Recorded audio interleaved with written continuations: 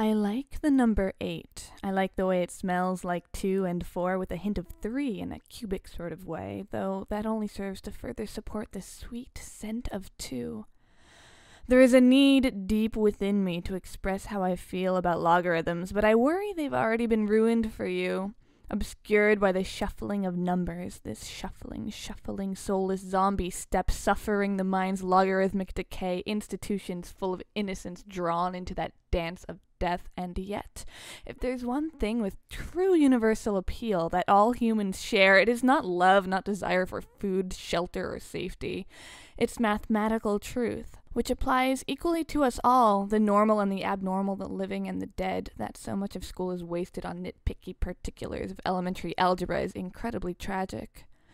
Elementary algebra is just fancy counting. All of it.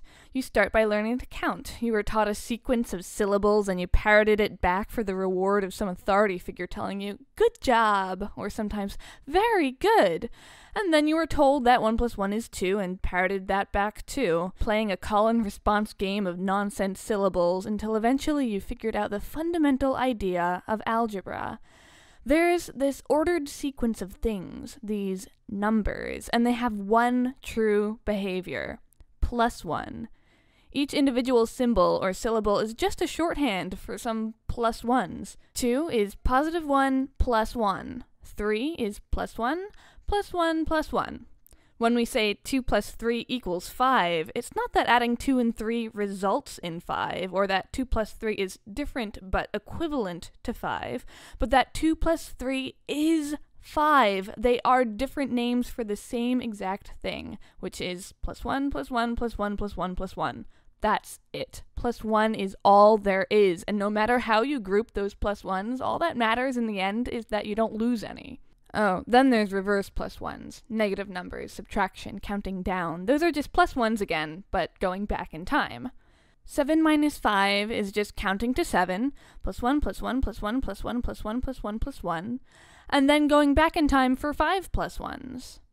You can think of it as mutually annihilating 1s and anti 1s and seeing what's left over if you want.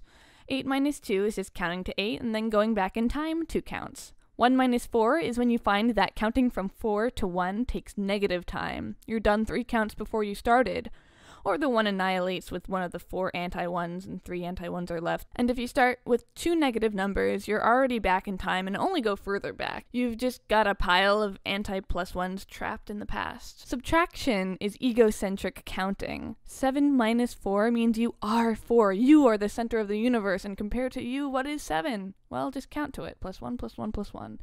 From where you're looking, 5 is plus 1. 3 is also just plus 1 away, but against the flow of time, so it's an anti 1. Minus 4 is twice as far away back in time as it would be if you were looking from a zero perspective to get to negative 8. Sometimes to make the harder things simple, first you have to make the simple things harder. Addition is a process of plus 1 plus 1 plus 1. Multiplication is a process of plus n plus n plus n.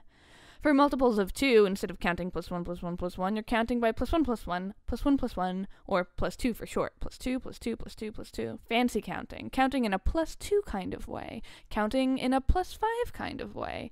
Counting in a plus 10 kind of way. What is 5 times 7? All that means is count in a plus 5 sort of way, 7 times, which happens to be the same as counting in a plus 7 sort of way, 5 times. 1, 2, 3, 4, 5. This is why 8 smells like 2 and 4, because 8 is 4 when you're counting in a plus 2 sort of way, and 8 is 2 if you're counting in a plus 4 sort of way. Division is fancy counting. A divided by B asks the question, what is A when counting in a plus B sort of way? 27 divided by 9 means, what is 27 in a plus 9 sort of way? Plus 9, plus 9, plus 9. It's 3. What is 7 in a plus 2 sort of way? Just count. One, two, three, and a half. Division means counting by plus denominators until you get to the numerator and seeing how long it takes. 7 divided by 1 third means counting by plus 1 thirds until you get to 7. Plus a third, plus a third, plus a third, plus a third, plus a third, all the way to 21. Exponentiation, powers, also fancy counting. This time, instead of counting by plus whatever, you count by times whatever. Powers of 2 are just counting in a times 2 sort of way. First power of 2, second power of 2, third power of 2. The size of the times-ish step is the bottom number, and the number of times-ish steps is a little exponent. Powers of 10 count in a times 10 sort of way. To take 10 to the sixth, you just take 6 steps of size times 10. 10 times 10 times 10 times 10 times 10 times 10.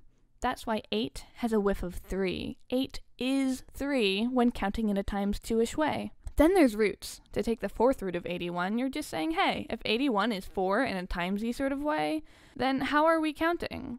It's like going a quarter of the way there, but a timesy quarter, not an addish quarter. Times 3, times 3, times 3, times 3.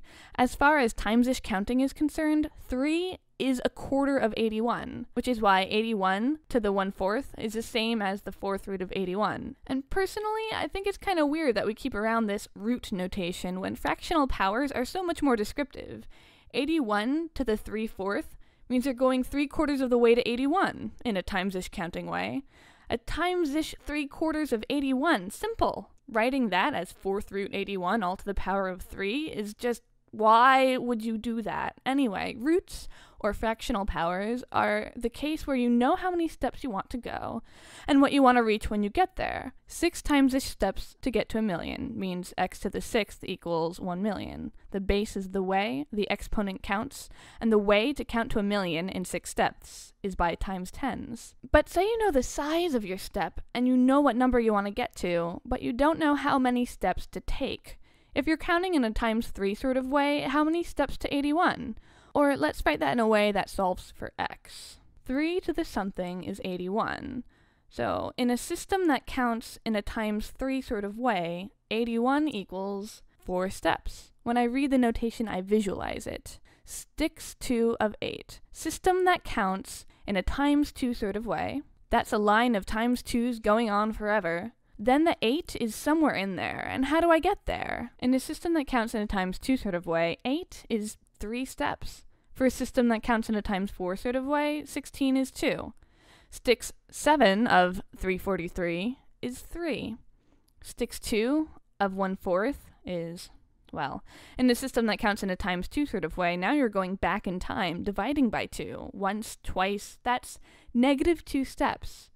The sticks 125 of 25 means we have a system that counts in a times 125 way, but the number we're trying to get to is only a fraction of the way to 125. And we can divide this step into three equal fractional steps, which times up to 125, each of size times 5 not plus 5 as if we were dividing the normal way, but the times 5 of dividing in a times-ish way. Times 5 times 5, that's 25. Two steps along, just one more times 5 to 125, making 25 two-thirds of 125 in a timesy counting way. In a stick 64, 128 is not a whole multiple of 64, but a fraction past it. Luckily, you can divide 64 into six equal times two parts, times 2 times 2 times 2 times 2 times 2 times 2 and just add one more times 2 to get to 128. Can you feel the 7 sixthness of 128 in relation to 64? Can you sense how 64 and 128 together evoke 32, which is 5 sixths of 64, and 5 sevenths of 128 on the scale? Can you smell the sweet scent of times 2 times 2 times 2 to the 5th, to the 6th, to the 7th? You can almost taste 256. This, my good friend, is the logarithmic scale. This, my dear future inventor of immortal space robots, is logarithms, a beast which at times transcends even the fanciest of counting. And as you plus one your way towards your noble goal, I only hope that you allow yourself the occasional moment to stop and smell the factors.